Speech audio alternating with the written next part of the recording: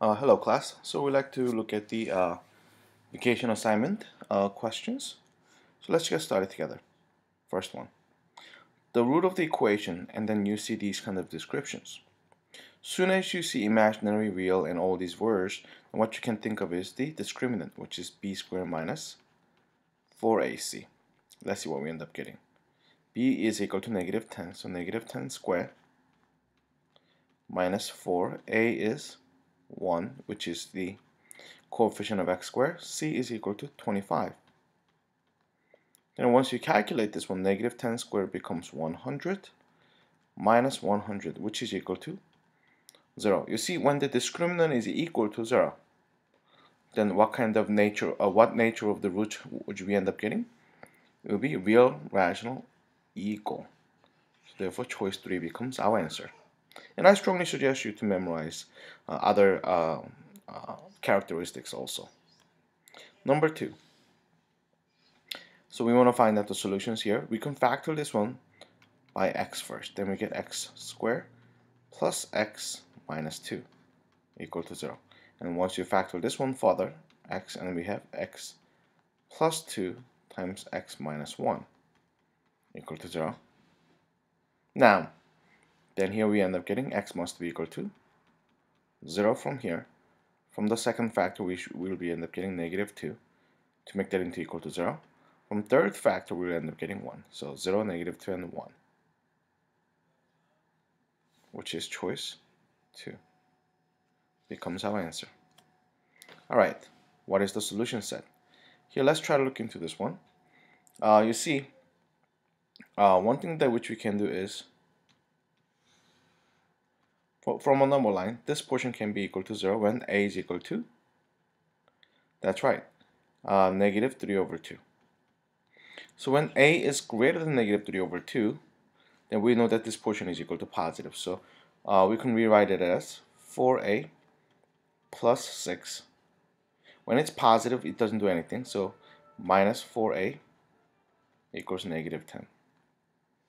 Now, uh, another one is uh, when this portion is negative, such as in this in, in this interval, we can rewrite this one as negative 4a plus 6 minus 4a is equal to negative 10.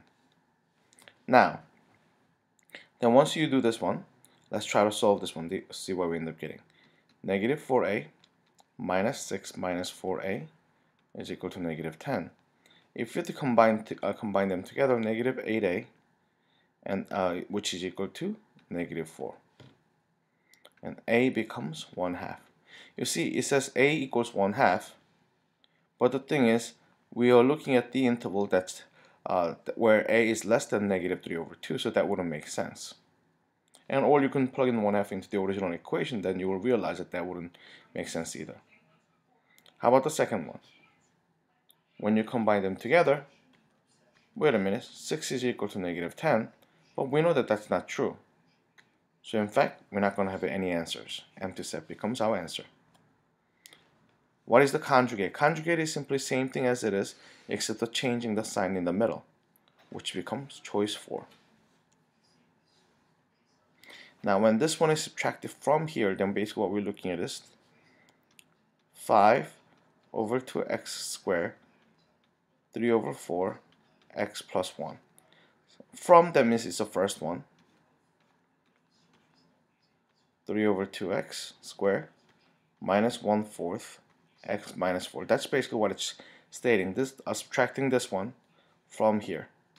So let's look at it. Then we get 5 over 2x squared minus 3 over 4x plus 1 and then subtracting 3 over 2x squared negative negative becomes positive 1 fourth x negative negative becomes positive 4. Then what happened? 5 over 2 minus 3 over 2 becomes simply 2 over 2, which is equal to x squared. Negative 3 over 4 plus 1 fourth becomes negative 2 fourth x and then plus 5. Then what is that equal to? Uh, that's equal to choice 2. Alright, let's look at number 6.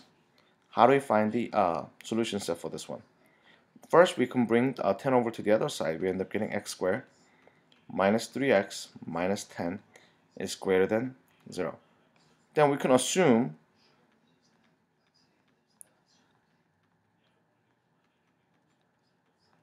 is x squared minus 3x minus 10 is equal to 0, then what do we end up getting?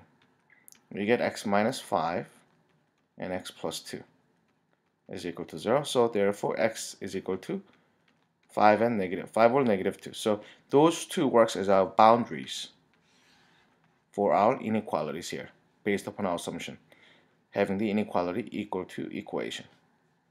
So here we have negative 2 and then 5. Now, once you look into this section, what do you end up getting? The values of x's are less than negative 2, that means how about negative 5? Once you plug in negative 5 here or here, let's try plug in negative 5 here, then we get 25. Negative 3 times negative 5 becomes um, 15. So 25 plus 15, which is 40, minus 10 becomes 30. So this portion is positive. In between, why don't we just use uh, the, uh, um, which works by the way, positive, that's, and then uh, 0. If you plug in 0, then this becomes 0, this becomes 0, negative 10 is not greater than 0, so this one wouldn't work. What if you have to plug in a number on the right side, such as 10? Then we get 10 squared becomes 100 minus 30 minus 10. Still we get 60, which is greater than 0. So our answer is this one and these two intervals. But since we have just greater than sign, uh, we're going to have open circle in both cases. So which one is our answer? x has to be less than negative 2 or x has to be greater than 5. Choice 3 becomes our answer. Alright, number 7. Uh, we want to use the completing the square. Then first we need to subtract 6x, then we get x squared minus 6x plus 2 equal to 0. But uh, to have the completing the square, we're going to subtract 2 from each side, so we get x squared minus 6x equals negative 2. But what would you end up adding to make the completing the square? That's right, we're going to look at the b value, divide that by 2, and then square it. So when you divide the negative 6 by 2, then we get negative 3. Square that, it becomes 9. So we're going to add 9 to both sides. Then left side becomes x minus 3 square, and the right side now becomes 7. So that becomes our answer, which is choice 2. Let's look at number 8. Here, the fact that we have negative exponent, that means that's equal to 1 over x to the uh, 2 over 5. The denominator 5 is the index of the root. So we get fifth root and we have x squared. Therefore, our answer will be choice 4. Alright, now let's look at number 9. Sum is negative 3. That means, uh, how do you find the sum? Sum is equal to negative b over a. Now, if a is equal to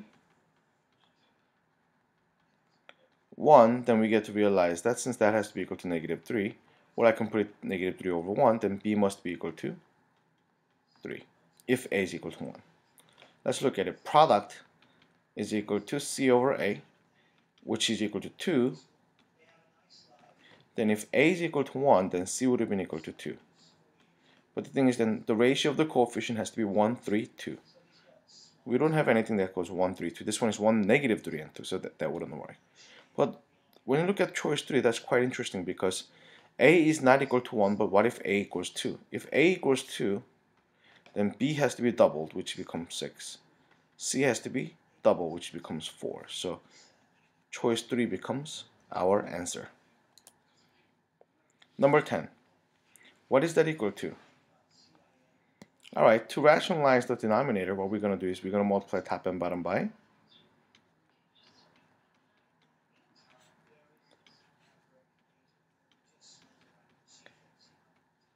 radical x plus 2. Radical x plus 2. Then you get to realize that denominator is x plus 2, but the numerator is, wait a minute, we had a radical x plus 2 here. But what can you factor this one out? You can factor out 2. Then we get x plus 2 also. You will realize that these two will cancel out and our final answer is what? 2 times square root of x plus 2. That becomes our final answer, which is choice 4. Alright. Number 11. How do you solve this one algebraically?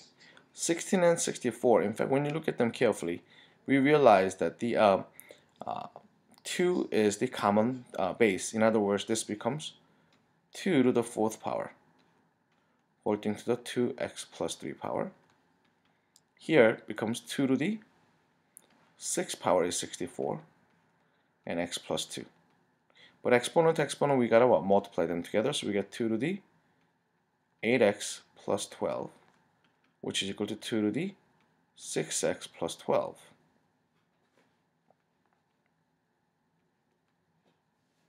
Now, then since bases are the same, we realize that numerator also has to be the same. Then here we end up getting um, 8x plus 12 must be equal to 6x plus 12. In other words, when you subtract 12, we get 8x uh, equals 6x. I'm subtracting 6x, then we get 2x is equal to 0. Then what's the value of x? x equals 0. And that's the only value that will make these two parts equal to each other. Number 12. How can we simplify this one? Since we have top and bottom as the same radical, what if I were to put them together? Then I get 108 x to the fifth y to the eighth power all over 6x y to the fifth. Now in this case I can cancel things out because both of them are within the radical. 6 cancels out here. We get uh, 18 cancels out becomes 4 y to the third. Then we get 18 x to the fourth y to the third. Uh, when you break this one down further, you get to realize that 18 is what? 2 times 9. 9 is perfect square, which can come out. And then x to the fourth times y squared times y. In this way, you realize that all the perfect squares can come out of the radical while the other one stays. Therefore, we get 3 x squared because x to the fourth comes up becomes x squared. y squared becomes simply y square root of 2y. That becomes our final answer. Alright, we'll stop here for the part one and then we'll continue later. See you later. Bye-bye.